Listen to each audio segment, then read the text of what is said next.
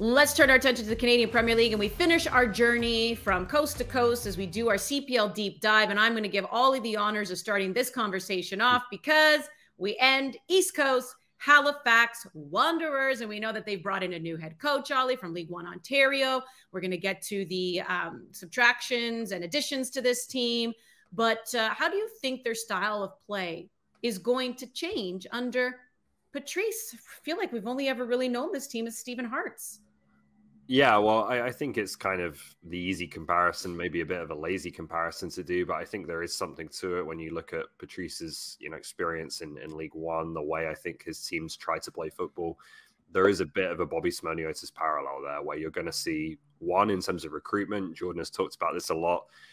He's going to give opportunities to to League One players, to young Canadian players who are looking to, to make that breakthrough to the pro game. And, and I think their season is, is kind of going to live and die by the way those players are able to step up to the CPL level. And then I think there's also going to be a real change in terms of the style of football and, and the tactical identity. You know, this is a coach, again, a bit like Bobby, who will want his teams to control the game with the ball, you know, to play in, in, in a very structured way, I think, in terms of, uh, you know, the positional play that they try and implement, again, particularly in possession. You're going to start to see maybe fullbacks inverting into midfield and, and different things like that that you wouldn't have necessarily seen, I think, with a more.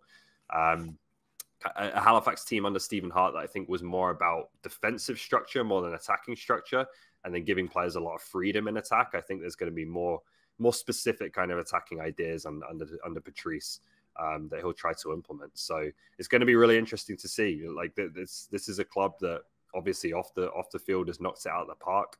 On it, besides that one short bubble season where they went to the final, um, they've not replicated the same kind of success. So it's it's a big turning point, I think, in club history how this goes.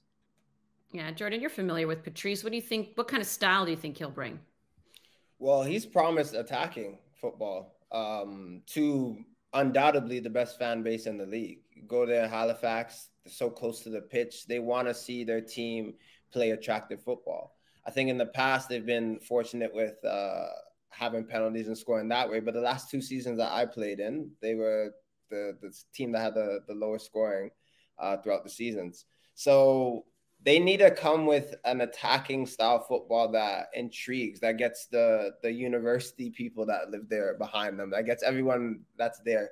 They they have five thousand showing up to games. You want people cheering and having goals. You don't want people just parking the bus when you're at home. You could do that away, but at home, when you go to when you go to Wanderers ground, you want you want to rally, get together. Now look with this squad, um, you see so many attacking players, and I'll always I can call them threats as well. But what does that look like in a 28 game CPL season? Because there are ebbs and flows. They're not all the time where you can go and attack. Uh, there there aren't all the games where you're just like, hey, this is a set way you want to play. Sometimes you have to survive. So I'm really, it's really intriguing looking at this Halifax team. It's just like can they get it going when they need to? Uh, will they be able to do that through the course of the season? And with, I guess, 15 that have left and having a whole new squad, will it take them a while to get it going? It's the side entering the season with the high, highest ceiling and the lowest floor. You're just not sure what we're going to get out of this group, really. I thought they did a really nice job job at the end of last season transitioning to a much younger, uh, more dynamic back line. I thought they were pretty good. Fernandez, Campagna, Omar, uh, among others, came in and really made a difference, which kind of sets the platform for this season. They still have Andre Rampersad, um, captain leader in the middle of the park. But other than that, a lot of new players and a lot of players coming from League One Ontario. So, what is that gap between League One quality and Canadian Premier League quality? And are some of these players able to step up to that level and the demands that come along with it, the travel and everything else? Um, can that gap be bridged? And that, and that goes with Patrice, the manager, as well. Um, you know, him stepping up a level to, to see what he can bring to the table. There's certainly talent, there's certainly intrigue when it comes to this side. I think we're just going to have to see how it plays out. Whether, you know, the changes are going to they're, they're going to be sweeping in terms of the way they play, but whether it's going to bring them up to the standard of some of the other top Canadian Premier League sides. Uh, quick little story that embarrasses me more than anything, Jordan. But you talk about being a great fan base. Wanderers Grounds truly is fantastic. And you know, when I was first learning about each of the teams, I was getting to know the names of their supporter sections. And at the time, when I went to do a game there, I didn't know yet that the supporter section there was called the kitchen and uh, Valour was in town, and Halifax Valour, a little bit of bad blood, and somebody had said out loud, "Oh, we're, we seem to be having some issues in the kitchen," and I went, "Are we not getting our media meal?" And I got very concerned. Horrible. I, Horrible. I'm always thinking of food. Girls, knowing you, like don't don't mess with your food. Make I sure was so upset. Like, I was yeah. like, "What do you mean we're having issues in the kitchen?" And it's fine. It's fine, everyone. It's fine. Let's take a look at some of the key additions and subtractions uh, that stand out for you, Ollie, in particular when it comes to the Wanderers. A lot of movement here, a lot of ins, a lot of outs. Um, so, you know, some really big names that we've come to know on this Halifax Wanderer squad are now gone. Um, so, what do you think is is going to be some key moves here for them, Ollie? Well, you, you look at that. excuse me, the out list first of all. Like, yeah, some of them, the more experienced players, the leaders in the squad, Charla, Gagnon Laparé, Garcia obviously hasn't been where he, he'd wanted to be the last couple of seasons, but we know in their history has been a big player. Salter last season was was kind of the main attacking threat. Obviously missing from that list as well, but I think you can probably put him on a permanent out at this at this point is Jean Morelli.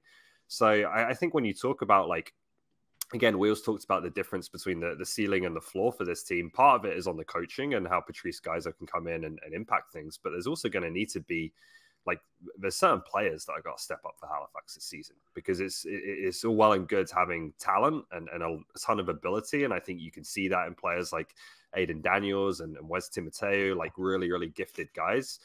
But there's got to be a mentality, you know, an increase in mentality to the point where these guys are expecting themselves like.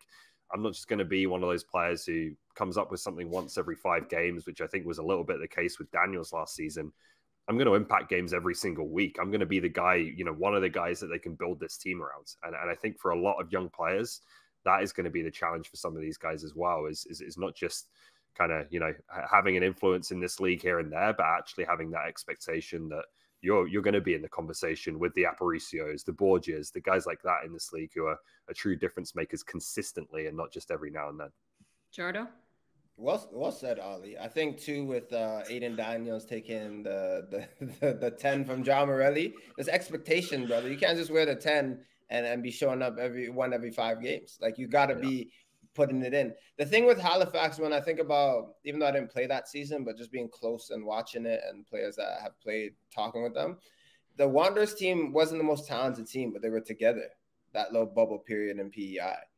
Uh, I think that's the the catalyst of their success going forward this season is that they have like a Timoteo, Daniels, they have a Norfonso going forward, uh, Massimo Ferrin, they have all these different pieces, but can they all contribute and get on the same page? And can they do that quickly? Have they already done that? Can they go into the season knowing that like all of us are really pedaling the same direction? Because sometimes with Halifax in the in the past, you just didn't know what you're gonna get on the day. Um, can Patrice guys can they get them all pedaling the same same way. The guys that have left, I think that honestly, when you break down the spine, um, the middle with uh, Policia, Lamont, like replace those guys. Obviously, Jeremy uh, Gagnon Laparé is probably for me the best one, but you can replace and have decent midfielders. But if you're attacking quality with like a Ryan James from a fullback and Alfonso and Fair and all these guys that I've mentioned, if they can go and contribute, uh, and even if it's not their day, but they're still contributing in terms of tracking back and just and and just working for the squad. It could be a decent a decent year for them. And i think their goal should be obviously making that playoff spot. And now with five teams that that's attainable. The five out of eight you could be doing that if you just have a successful run. If you don't get into bad habits or losing three in a row if you can if you can bounce back quickly for sure they can do that. Mm-hmm. All right. So wheels what are your expectations here? Um progression in terms of the style of play. I'm not sure how much they climb the table. Playoffs, out. You're calling right now that Halifax Wanderers don't make the playoffs. I am. Love it. Okay. Wheels doesn't shy away from that. Jordan's cut on the record there. No, clearly. perfect. I just wanted to know. yeah. So he's saying no. You're you you Jordan are saying they could nab the fifth spot.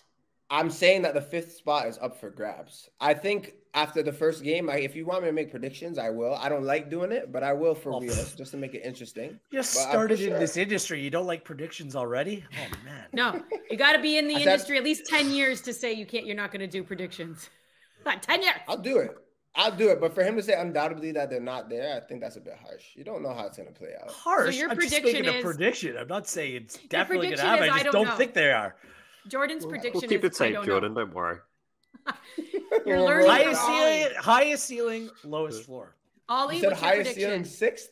Lowest floor. They could be a playoff team, absolutely, but ceiling they need to show me. I think All they can be a playoff team. I just don't think they'll end up being it. Ollie, Okay, not fair. I think there's five teams that are. I uh my prediction, I'll be very clear on my prediction. I got three of last year's four playoff teams returning to the playoffs, and I got two new ones, and I think Halifax will be one of the two. Of course, you're back on the ship. It's like the show Love 1899. The ship just keeps on All appearing. with aboard. On it.